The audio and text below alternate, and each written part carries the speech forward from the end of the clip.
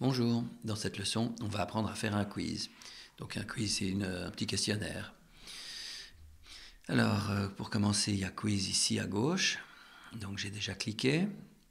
Là, j'ai affiché toute la liste des, miens. Et puis je vais cliquer sur Ajouter un nouveau. Donc euh, d'abord, je donne un nom à ce quiz.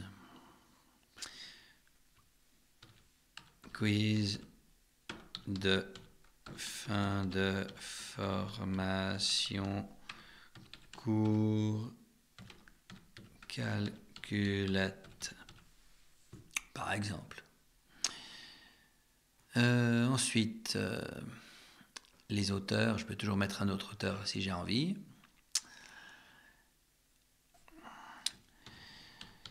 Quelques questions pour, oui c'est ça, tester votre apprentissage. Je pense qu'on peut mettre ça euh, généralement à tous les, les quiz. Puis on va déjà aller dans Settings. On va sélectionner maintenant le, cours auquel euh, est attribué ce, ce questionnaire. Donc, euh, ce sera toujours le même pour moi. La leçon, ben, mettons euh, faire une addition? Et puis, euh, enfin, il y a des options, enfin bref. Il n'y a aucune option à, à, mettre là, mais enfin, on peut. Ensuite, les pourcentages de score. Donc pour passer à la leçon suivante, il faut avoir fait au moins 80% des questions. Et puis si on veut un certificat, certificat SEM formation, eh ben, il faut euh, au moins 80% aussi. Maintenant, on n'est pas obligé de mettre un certificat SEM formation, mais généralement, il y en a un sur la, sur la formation de toute façon. Mais c'est une bonne façon de faire. Vous le mettez ça à la dernière leçon, par exemple. Ensuite, est-ce que toutes les questions doivent arriver en même temps ou bien une à la fois? Puisqu'on peut. Donc là, c'est une à la fois, mais moi, je crois que je vous propose de mettre toutes les questions en même temps. Et puis, euh, vous avez une grande page. Enfin, est-ce qu'on peut faire restart? Oui, je, je, crois que vous pouvez laisser les options par défaut. Un feedback, etc. Est-ce qu'on a des statistiques? Pourquoi pas? Podium, euh, savoir qui a fait le meilleur score, on s'en fiche un petit peu. Puis on peut cliquer sur euh, Publier. Voilà. Une fois qu'on a cliqué sur Publier, on a les différentes questions ici. Alors il n'y a encore aucune question. On va en faire maintenant. Add question. Une fois qu'on a fait add question, on doit mettre euh, le titre, c'est facultatif. Combien de points ça fait la question?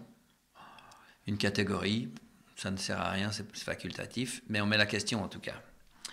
Alors, question super importante. Quelle est la couleur du cheval blanc? Je vois que vous connaissez la réponse. De na Napoléon. Et puis, je vais y ajouter, là on met rien du tout, c'est des messages qui s'affichent si la réponse est bonne, si la réponse est mauvaise, etc. On va mettre un seul choix, choix multiple, enfin bref, on peut choisir. Euh, et puis ensuite, je mets les réponses possibles, les, réponses à choix. Euh, la première réponse, bah, je vais mettre noir. Ajouter une nouvelle. Euh, je vais y mettre vert. Il y a beaucoup de chevaux verts, c'est clair. Hein. Et puis euh, bleu. Et puis euh, on va quand même mettre de tout à coup une, bonne réponse. Hein. Blanc. Et puis je clique que c'est la réponse correcte. Et j'enregistre. Bien. tout est correct.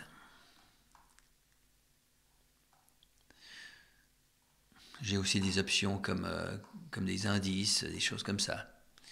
Bref, on, on enregistre, c'est fait déjà. On va faire back to question pour éventuellement mettre une deuxième question. Puis enfin, on fait un back to quiz. Puis une fois qu'on a fini, on a notre quiz là, on peut le tester. Quiz de fin de formation pour Calculate, cours Calculate. Start quiz, ça a l'air de marcher. Si je clique sur noir parce que, je suis daltonien, finish quiz, il vérifie, il voit que j'ai zéro point. On peut revoir les questions. Ah oui, j'ai répondu noir alors que la bonne réponse était blanc. Redémarrer le quiz. Je mets blanc. Et je peux imprimer mon certificat. Cliquer ici pour continuer. Donc continuer s'il y avait une troisième leçon, etc. Voilà, je crois que vous avez tout vu. Merci de m'avoir écouté.